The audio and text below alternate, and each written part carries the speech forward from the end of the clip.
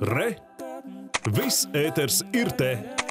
Bēgļu skaits pasaulē pārsniedzis 100 miljonus, un visdramatiskākā situācija pēdējo 70 gadu laikā izveidojusies tieši Krievijas kara spēka izpostītajā Ukrainā. Par to ziņo apvienoto nāciju organizācija, arī uzsverot, ka pēdējo desmit gadu laikā bēgļu skaits pasaulē divkāršojies. Šodien atzīmē Pasaules bēgļu dienu, un tāpēc biedrība Tavi draugi rīko plašu labdarības pasākumu Ukrainas civiliedzīvotāju atbalstam Latvijā. Tā laikā plānot arī ekspertu diskusija patvērums vai mājas mājokļu meklējumu šūpolēs. Mēs vairāk jautāsim biedrības vadītājiem Ulvim Novikam. Labrīt! Labrīt! Sveiki, Ulvi! Bēgļi visā pasaulē, mēs zinām, daudz miljonu. Mēs pēc šobām parunāsim par Ukrainu, bet kopumā tas vispārējā situācija pasaulē, kas ir diezgan skarba, kā šo dati arī no ANO liecina. Kā jūs vispār saredzat iespēju, kā pasaule palīdz un spēj palīdzēt bēgļiem? Vai cilvēce tiek līdzi šai problemātikai un spēj sadoties rokās, ka tas ir vajadzīgs? Um, gribētu teikt, ka daudz kur pasaulē ar šo problēmu tiek galā. Pie mums Latvijā, kā mēs tagad redzam, Ukrainas sakarā mēs arī diezgan labi tiekam galā un cilvēki ir ļoti atvērti.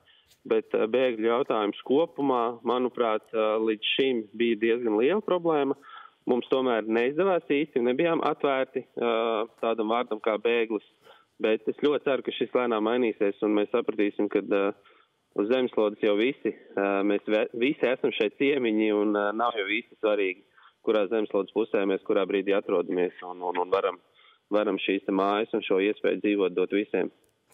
Jūsu vadītā organizācija palīdz bēgļiem, tieši Ukrainas bēgļiem. Protams, pēdējos mēnešos viņiem daudz palīdzības daudz vietā Eiropā tiek sniegts, bet, ja runājam tieši par jūsu organizācijas paveikto, Kā jūs redzat, cik atsaucīgi ir Latvijas sabiedrība un nu, kas ir tāds, ar ko pašiem arī ir vislielākais prieks un lepnums, ko ir izdevies paveikt? Nu, es gribētu teikt, ka šis, manuprāt, mūsu visu dzīvēs ir tāds svarīgs uh, pagrieziena punkts. Um, mums bija iespēja sadoties visiem rokās, un es domāju, ka mēs to esam izdarījuši, jo sabiedrības atbalsts bija tiešām milzīgs.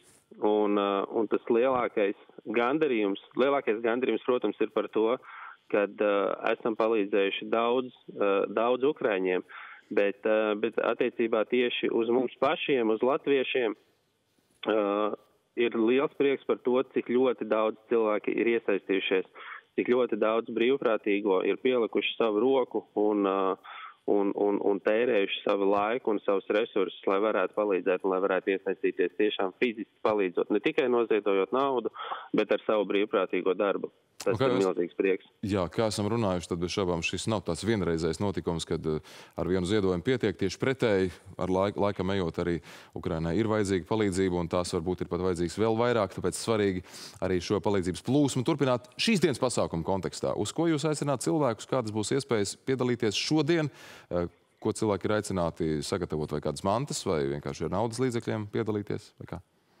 Uh, jā, pirmkārt, aicinam visus šodien apmeklēt uh, mūsu pasākumu, kam ir tāda iespēja, jo būs iespēja uh, vērot uh, māksliniekus, būs, būs neliela koncerta, būs stāstu lasījumi, kā arī būs iespēja vienkārši satikties ar ukraiņiem un, un ar brīvprātīgajiem, lai uzklausītu dažādus stāstus.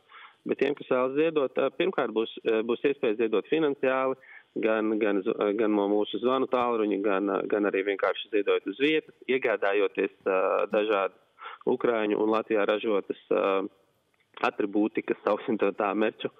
Uh, un, un, un tāpat, protams, arī ziedot mantas ļoti, ļoti, ļoti svarīgi joprojām ir uh, vecais novazātais teiciens par pārtiku un higienas lietām. Uh, tas tā izklausās jau kā tāda tiešām notrālināta dziesma, bet tas ir tas, ir tas mūžīgi aktuālais jautājums.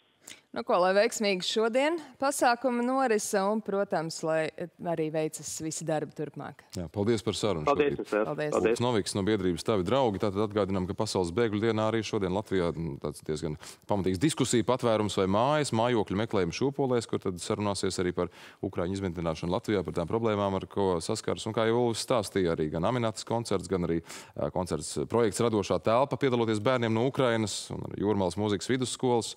Un, jā, jā, arī fotografiju izstādes ar sapni uh, atgriezties atklāšana arī paredzēts šajā